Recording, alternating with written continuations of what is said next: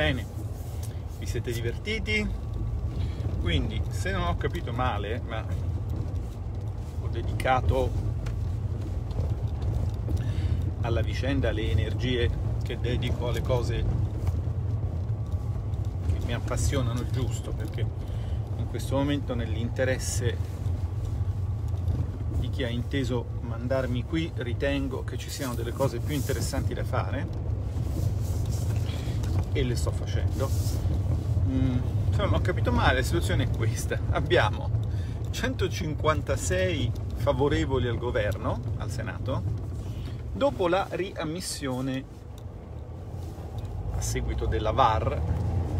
dei senatori Ciampolillo e Nencini, quindi diciamo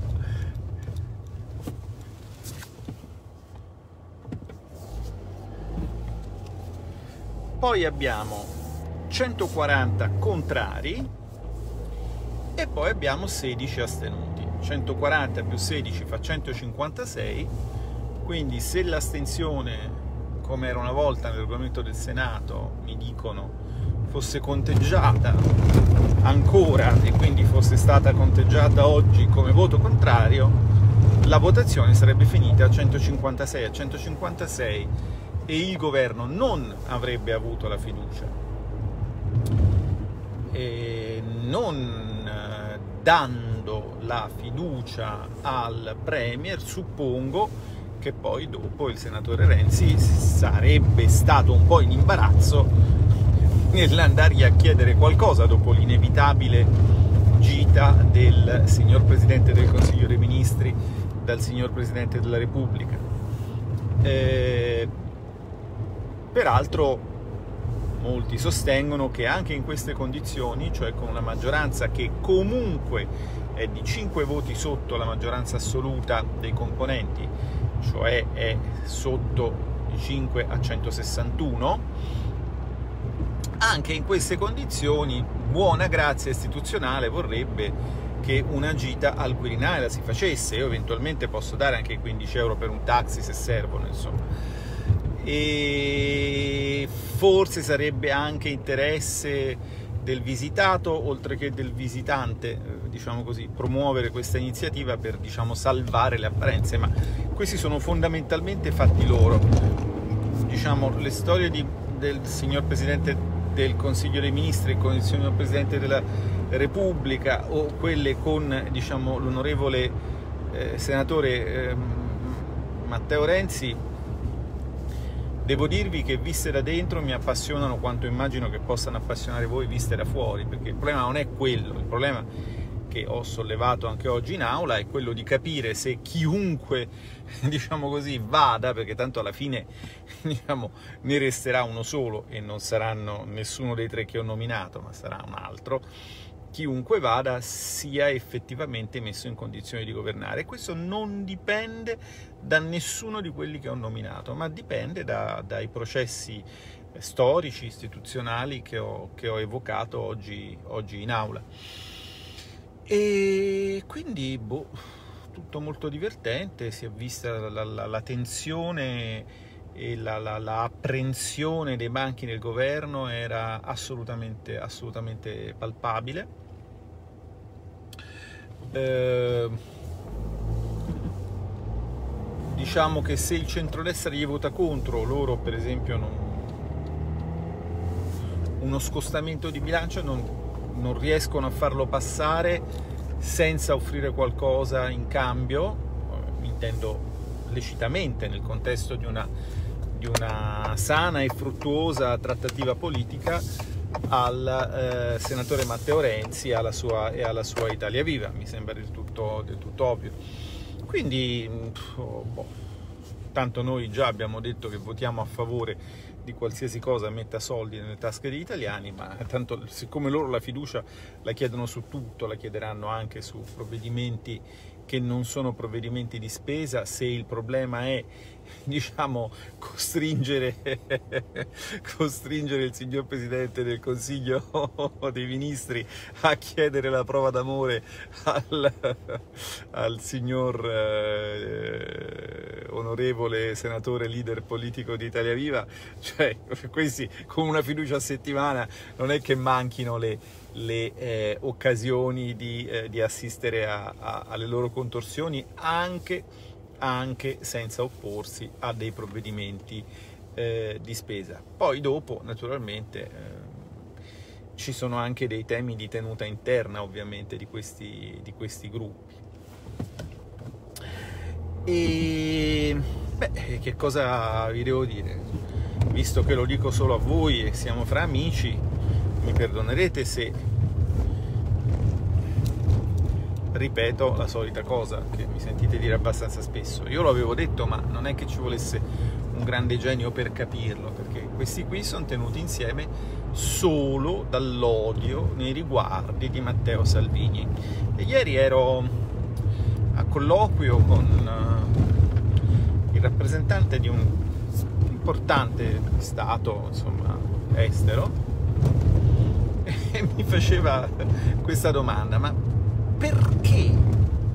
Perché tutti odiano così tanto Matteo Salvini? L'osservazione che lui faceva era abbastanza, abbastanza ovvia, penso che forse l'abbiamo anche, anche sviluppata qualche volta. Ad esempio, sul tema dell'immigrazione, in fondo le politiche di Salvini, magari ci sono delle sfumature che io, non essendo del settore, delle sfumature tecniche che io non riesco a cogliere, ma la politica di Matteo Salvini è in continuità con quella del, era in continuità con quella del ministro Minniti, no? Non voglio risalire a quando, a quando eh, diciamo così, eh, una nave proveniente dall'Albania venne speronata facendo diverse centinaia di morti e nessuno fece neanche un plissé. Si tornerebbe parecchio indietro nel tempo e chi conosce la storia patria sa chi erano i personaggi coinvolti nei vari ruoli istituzionali all'epoca, no? Ma eh, una politica che si pone in linea di continuità viene accolta, sostanziale linea di continuità, viene accolta con uno scandalo. E io, diciamo così, ho fatto la mia parte di autocritica, cioè probabilmente ci saranno stati anche degli errori di comunicazione nel eh, presentare certi temi all'opinione pubblica e poi però ho anche detto c'è un problema però un pochino più radicale, purtroppo Matteo Salvini rappresenta un elemento di discontinuità genuina ed effettiva rispetto a questa politica qua che si spartisce i soldi che non arriveranno eh, perché lui ha capito profondamente delle cose è animato da una reale volontà di cambiare e quindi questo ovviamente lo rende inviso alle forze della conservazione.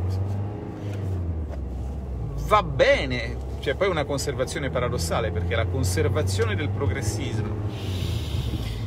mm, però c'è un piccolo problema però c'è un piccolo problema che sono sempre di più gli italiani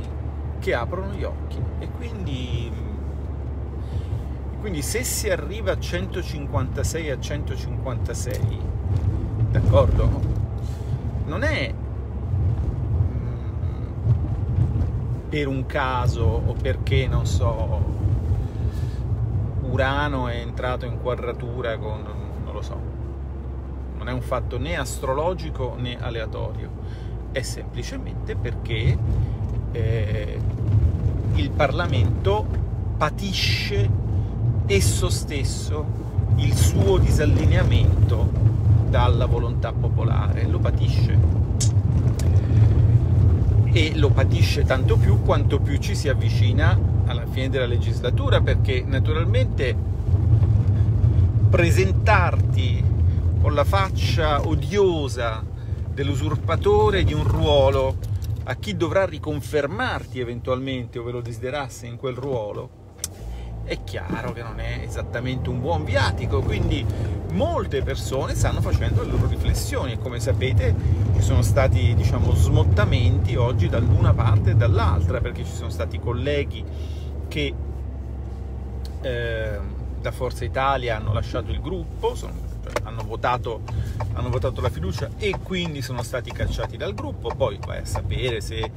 la mossa, insomma, in retroscena non li so, ma non mi interessano in questo caso, non mi interessano neanche i numeri, figuratevi se mi interessano i motivi dei numeri. Ehm, e dall'altra parte ci sono stati colleghi del gruppo misto che hanno deciso di dichiararsi contro questo governo e quindi di fare un gesto di apertura alla futura maggioranza di centrodestra. Naturalmente sono gesti che valgono anche per il tempo e per il momento in cui vengono fatti, nel senso che voglio immaginare che alle soglie del 2023 il povero Conte avrà tutti addosso, cioè nessuno vorrà bene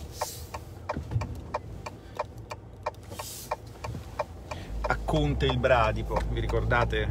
Ice Age, l'era glaciale, dove c'era quel povero Bradipo, Sid il Bradipo, che si lamentava che nessuno gli volesse bene, perché era un pochino petulante. Ecco. Questa è la storia. Poi adesso se si va al proporzionale, lui si fa il partitino, fa l'aghino della bilancina, avremo queste belle bilance con tanti aghi. E e ci godremo, e ci godremo lo spettacolo. Non possono farci niente, non possono farci niente. Ormai, ormai è fatta uh, salva una eletta minoranza chiassosa uh, risiedente in quartieri che fra un po' dovranno essere circondati dal filo spinato perché verranno presi d'assalto, incluso quello dove vivo io. Eh, la sinistra è invisa a tutti e eh, voglio dire, abbiamo analizzato in lungo e in largo per anni, per un decennio, con qualsiasi tipo di strumento analitico, all'inizio con la macroeconomia, ma poi con la sociologia, con la semiologia, con, con l'etnologia, con, con, con, qualsiasi tipo di strumento analitico, il perché di questo suicidio rituale da, da, da, setta satanica, insomma, della cosiddetta sinistra. Basta, diciamo, io il lutto l'ho elaborato con me e tanti altri, eh, possono fare quello che vogliono, fra un po' saranno costretti a mettere loro una bella patrimoniale sulle case e sui conti correnti di quei quattro scemi che ancora gli vanno dietro e quando avranno compiuto questo finale atto, anche nelle cosiddette elite qualcuno si sveglierà e capirà che da una parte ci sono persone che vedono prima quello che arriva dopo e cercano di utilizzare questa informazione nell'interesse del paese, dall'altra ci sono solo dei servi, eh, dei disprezzabili servi eh, incapaci di una elaborazione politica autonoma, eh, incapaci di difendere eh, gli interessi di un paese che disprezzano e che li disprezza. E sarà gioco forza, sarà gioco forza abbandonarli al loro destino. Eh, quello di questa sera è un passo piccolo, timido, mm, incompiuto se vogliamo, ma è un passo in quella direzione non sono cresciuti, eh, sono diminuiti, attenzione, sono diminuiti. E quindi, e quindi è stata una giornata mediamente interessante, ho fatto un, il discorso che volevo fare, Matteo Salvini ha fatto un bellissimo discorso.